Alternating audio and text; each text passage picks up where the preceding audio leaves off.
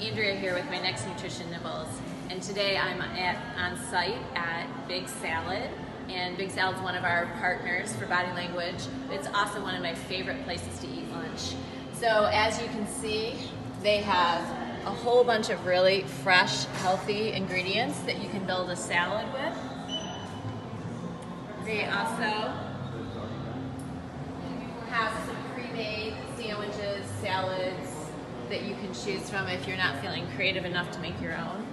And they also have um, whole grain ciabatta that you can get as a side with your salad or with your soups. And the soups they have like tomato basil, cactus chili that are really yummy. And then sometimes they come here with Chris, and her favorite thing is the chocolate chip cookies that they make homemade every day, part of your 20%. So stop into to Big Salad, tell them Body Language sent you, you're gonna love it.